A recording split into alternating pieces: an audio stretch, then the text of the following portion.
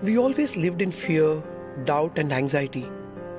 We were not sure if our desires were normal. We could not tell anyone, confide with no one.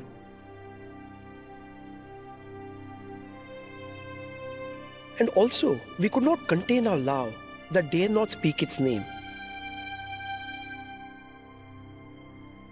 We felt alienated from our own homes.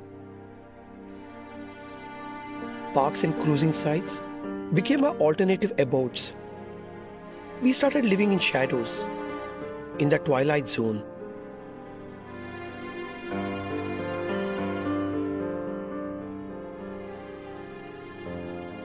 I was not very sure about what my identity was. I wasn't even open to my gay friends. I would use false names to with my friends. I also have that sexual appetite, and then I would go out to flirt with somebody. And then I knew that point of time that there was Cubbon Park, where you can go and flirt with the people and then pick up a guy. I also learned through the time that uh, there was some law uh, existing like this that uh, you could be punished for. So it was there in my background always. And then, uh, but anyway, I was naive, and then I went to Cubbon Park and picked up a guy. That guy, he actually ripped me my money and then stole my mobile. I felt terribly helpless because in the middle of night, I didn't know where, know where else to go. I panicked. I didn't know whom to contact. Then I go to the police station. The first thing that police was asking, like, what were you doing there?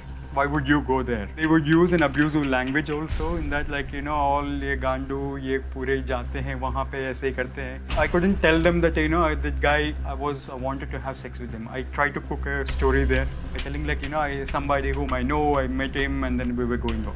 Because the, the section 77 is existing. The first party who is guilty is me rather than somebody who ripped me. So I didn't want it to come out and that is where I felt helpless.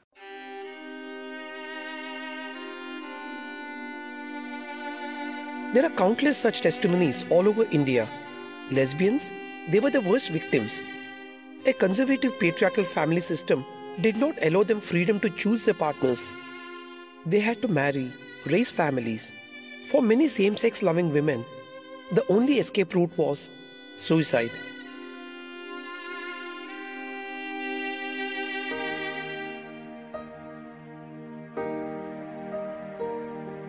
Gay men could still hide in their closets, have anonymous sex with friends and strangers in some places.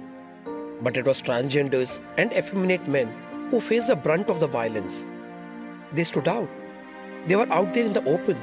They were exposed to constant threat by police and people.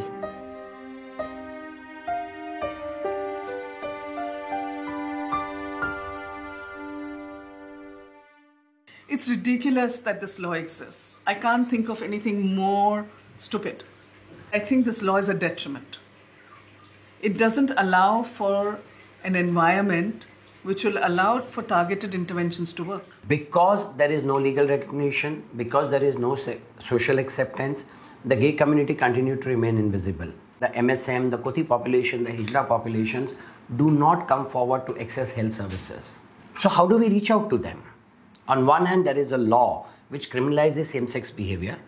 On the other hand, there is a community which is high at risk for HIV, but you cannot reach out to them. शुरुआती दिनों में sir हमें condom बांटने में काफ़ी दिक्कतों का सामना करना पड़ा जैसे कि पार्क में पुलिस वाले घूमते हैं और जब हम अपने टारगेट या की पॉपुलेशन से मिलते हैं उन्हें कॉन्डम देते हैं तो कई बार पुलिस वालों ने हमें पकड़ा भी है और ये कहा तू मतलब यहाँ पे ऐसे अब्यूज वाली लैंग्वेज में बोला था कि गांड मराने तुम यहाँ आते हो मारपीट भी करते थे। तो जब उनको पता लगता है कि ये इस ग्रुप से, एक पर्टिकुलर ग्रुप से बिलोंग कर रहे हैं और इनकी हरकतें ऐसी हैं तो वो आके फिर सेक्स के लिए प्रपोज करते हैं या जबरन सेक्स भी करते हैं। 377 being a cognizable offence meant that the police could arrest person under 377 on mere suspicion like they did not need arrest warrant of any sort and it being non bailable offence basically meant that once a person is arrested after investigation and all of that, maybe charges are not filed, maybe charges are dropped or whatever. Police, because of their venal nature of trying to extract money and extract sexual favors and in, like in inflicting violence,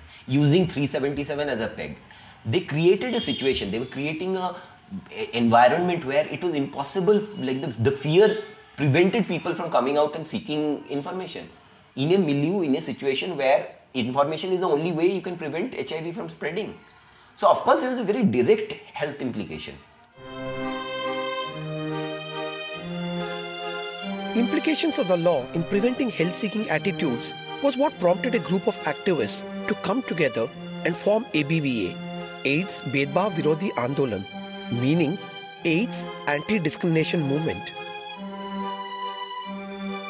Less Than Gay became the first document produced and which first made the demands of decriminalization. And this was prompted by a situation in Tihar jail where they looked at homosexual behavior in Tihar jail and asked um, for the distribution of condoms in the jail, and they were told that it they could not be done because homosexuality was a crime, uh, and therefore it was logical that they should have followed it up with a uh, petition. It was filed in the Delhi High Court. It was pursued for a time, but being an informal group that it was, it could not uh, sustain. It lapsed because of attention wasn't paid to it.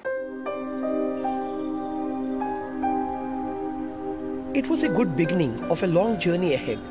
It was the beginning of hope. Though the ABVA petition lapsed, it became the first bugle call for reading down Section 377. But as with any movement, things had gone dormant for some time. Till an extremely unpleasant incident occurred in the heartland of UP, in Lucknow to be precise. A witch hunt that was the worst violation of human rights.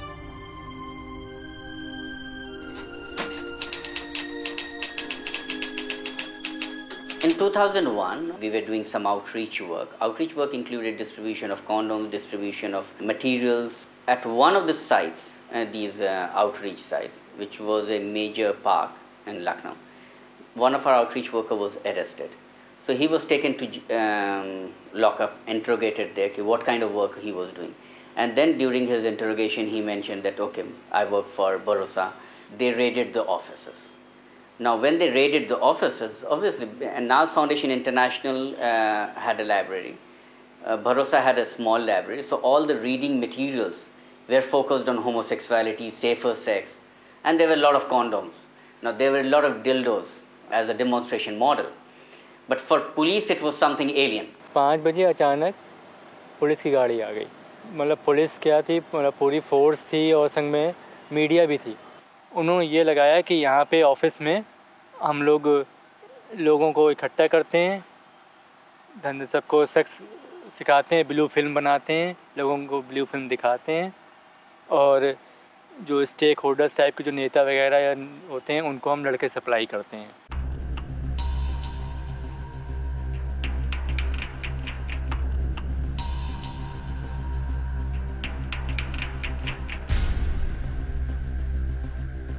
we were booked under section 377, 110 and 106 that promoting and abetting homosexuality. Jail के बीच में एक ऐसा ground होता है वहाँ सबके बीच में ले जाके मुर्गा बनाना पीछे से लात मारना डंडे मारना ये सब चलता रहा We were shown that these are the Gandu people, homosexual, साले गांडू को पकड़ के लाए and everybody was looking at. The policemen used to come and hit with their boots. So just to make sure that we regret for what we are. यहाँ तक कि कुल्ला करने के लिए या टॉयलेट जाने के लिए पानी नहीं एक पाउंड बना हुआ था उसमें पानी भरा था गंदा उसी में लोग थूकते थे उसी में बर्तन साफ करते थे वही पानी पीना पड़ता था There was a, a drain there and it had filthy black water in it. We were asked to clean the drain with one uh, bowl and then we were asked to clean it and eat our food in that. so they were making our lives difficult. You want us to break down. We were really losing hope that we will ever come out of jail till the, this case goes on.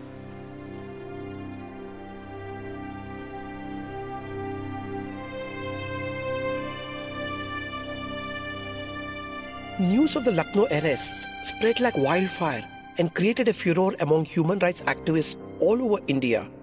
They came together to stage protests and raise voices to have the arrested set free.